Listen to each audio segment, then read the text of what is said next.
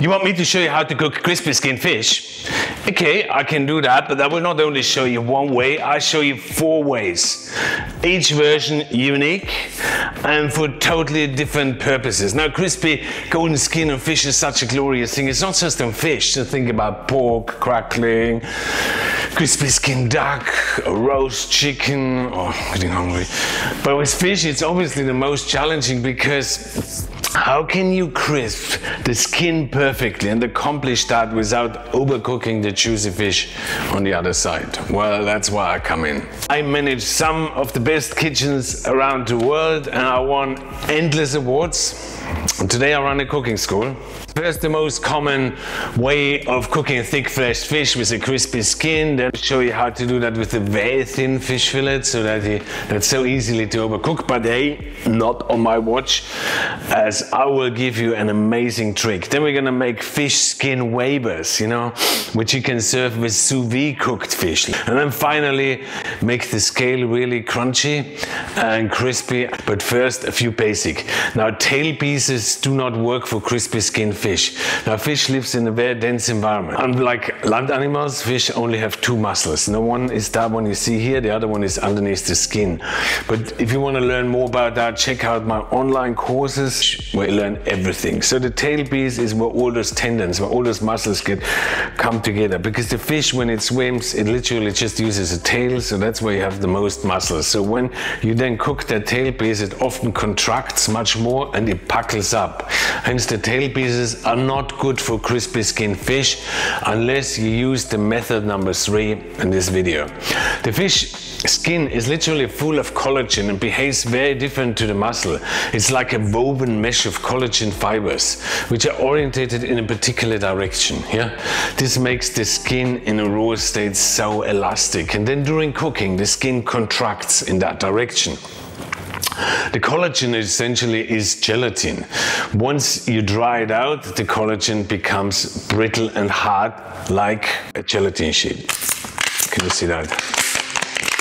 To achieve this, to get it from wet gelatin like you see here, to dry gelatin, or a crispy skin, you need to obviously dry it out. Easy. Well, yes and no. Remember, there's a fish fillet sticking on the other side of the skin, and that needs a lot of attention so it does not overcook or get damaged. So, because you need to think fish is already cooked at 55 degrees, so it doesn't need much heat. One tip before we start, fish fillets with scales on work very diff different. So, but in number four of this video, you, you're gonna see that all. Oh, it's gonna be so good. I'll tell you that, you will love it. I'm so excited showing you all this. So let's start first with the thick fish fillets. The easiest one. And I do it today with salmon because that's what most of you use. But any fish works with this method. I take a fish fillet and then you drag the blade straight over it like you see I do here. But do it gently so don't just damage the meat. This way you drag out any excess water from the skin and remove any possible scales from the skin. Remember fish with scales does not turn that crispy. It's not that gives you that snappy crunch that you want. So if it's scaled properly you can just place it on a piece of kitchen paper while you heat the pan.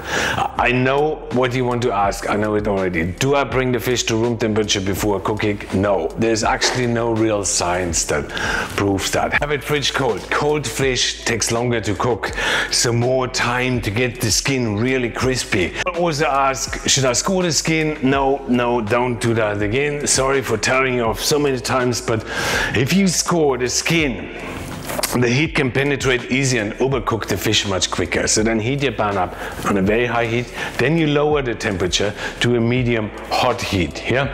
So I know you're going to ask me now, why does it not use a non-stick pan? Well, I tell you what, those things are super, super toxic and they're actually not needed. I'll tell you a quick little story how it works when you do it properly. If you take a pan and you place it under a microscope, like that stainless steel or cast iron pan, if you, you would see thousands and thousands and thousands of little cracks. Literally literally looks like the Grand Canyon from above. When I heat it, metal obviously expands, and most of the cracks, almost all the cracks will close up. Now glue, apparently is made from protein, yeah? And the stickier the glue, as more proteins it contains. I mean, that's what I was told. I, I could be wrong, but hey, you know, I don't take the blame because somebody else told me that. So, if I place the skin into a cold pan, the, the juices, of course, of that pan of the chicken or that meat will go into those cracks and bingo, the whole thing sticks. And that's why you choose your spot. And then you let the skin dry out. And then it renders out all the juices. It renders out all the fat. And, and that's important to not to move the fish for at least for two or three or five minutes, depending on how thick it is. The skin needs to dry out. And if it's dry, it cannot stick. Easy, isn't it? A little cooking fat. And then you choose your spot where you're going to place your fillet for the next few minutes. And in it goes. And immediately the collagen fibers will contract, the pores will close up. Do not press that fish down. If you press your fish down, it will disconnect the fish from its skin. Further, the meat fibers will break as the heat comes in. The fish is a very, very fragile protein. You know, you press it down, you end up with mushy fish. The fish, my skin might be perfect at the end, but the fish fillet will have lost all its unique texture. And you don't touch your fish, so it's actually time for a glass of wine. Cheers. And then you cook it for five or six minutes. If it's smaller fish fillet, probably three or four minutes. And, and when you see that fish fillet comes easy off, it's ready. Again, it's all depending on thickness, yeah? Approximately, you can see it on the side how far it's cooked. It's approximately half the cooking time then is resting time, but you need to know your pan. If it's a cast iron pan like I have here, then obviously would, or it's copper, then I probably would slide the fish slice underneath the fish fillet so that the residual heat from the pan can cook the fish because fish is already fully cooked at around 50 to 55 degrees Celsius or 122 to 131 degrees Fahrenheit. If you want to cook it more, don't cook it more. You know, if I say I want a medium well or well done, just let it sit longer in a pan. It will eventually be all cooked through just by sitting in a pan. The heat will always travel inwards. Yeah? It will gently cook the fish and it will be well done, but it will not be dry and sort of boring because you haven't denatured the proteins on those lower temperatures. Do you get that? Mm. Oh, that's so crunchy. Skin perfect crispy, fish perfect juicy.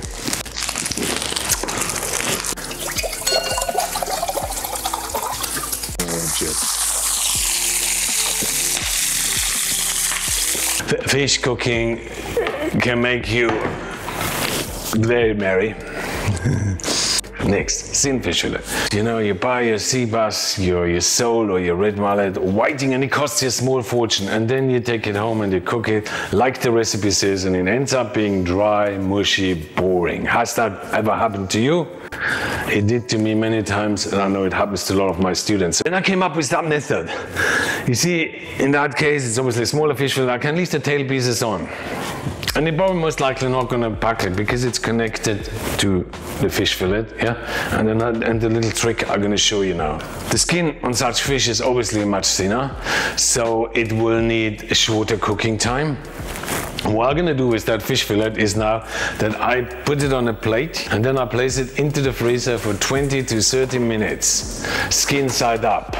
Basically, I get the fish fillet as cold as I possibly can till some of the edges harden and then I heat the pan and then I place it skin side down in the pan on a high heat this time all the way through and cook it probably for two to two and a half to three minutes on the skin side only because the meat is being ice cold. I probably have an extra advantage of another 30 seconds or up to a minute. And that's a long time to work on your skin and get it super crispy without overcooking the fish. Just flip it over and leave it in the pan for one or two seconds and serve it straight away. And you need to put it on a pre-warm plate. Done, easy.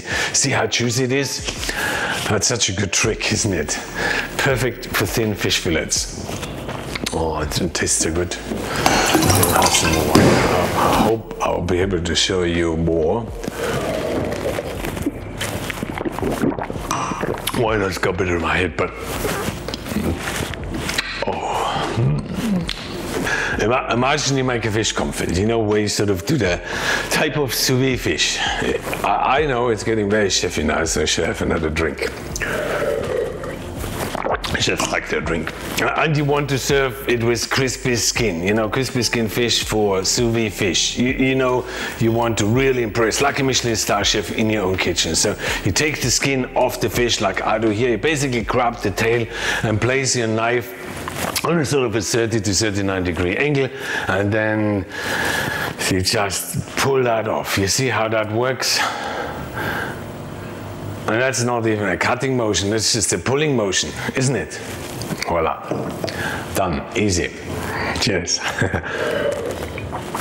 Next you scrape away all the gray muscle from underneath, you know, all the fat from inside the skin. Then you, if there are any scales on it, you get rid of them as well. Then you brush it with olive oil or oil, and then you put it onto a tray, and it basically will now become as hard as that gelatin in the oven. Yeah. So that's why the oil and the salt which you put on is very important too, because if you don't do that, it becomes too dry, just like that gelatin. Then you heat the oven to 150 to 160 degrees Celsius and then cover it with baking paper and then put it in the oven and put a weight on it, cook it in a preheated oven for approximately 45 minutes or so. You can leave it a bit longer. Approximately 80% of the skin is actually water and has lots of collagen fiber, so it will be like a fiberglass. Hence, it takes a while to dry it out.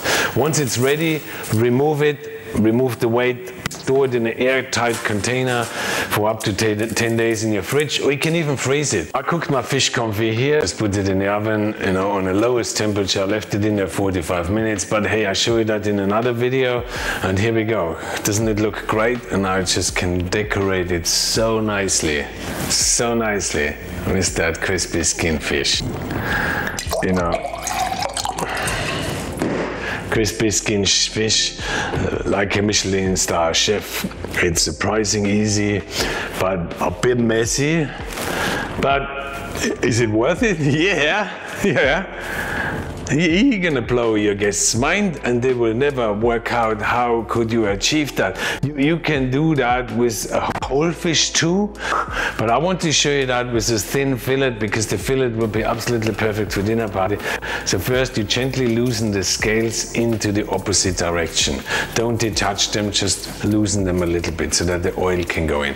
Place the fish on a rack, you know, push a bamboo skewer through the fillet, tie it down. Then heat some cooking oil for, to approximately approximately 200 degrees. Uh, place the rack on a sort of a 60 degree angle over the oil and then carefully and gently pour the oil against the direction of the scales. Do that till the fish scales are completely dry. This will also cook the fish, of course. Great, isn't it? It's easy. When you know everything is easy. And if you want to know more, then check out my video about Salmon Ballotine to experience fish on a totally new level. Yeah. So thank you. I hope you have a great day, and I look forward cooking with you in one of my other videos. And I will have have have another little drinky. Yeah. Oh shit! I'm blasted. I think I think I had too much. You should have told me not to drink so much. But it's, it's bloody good wine. What is this? Riesling. It's good, isn't it? I think I have another bottle in the fridge. Thank you and have a great day.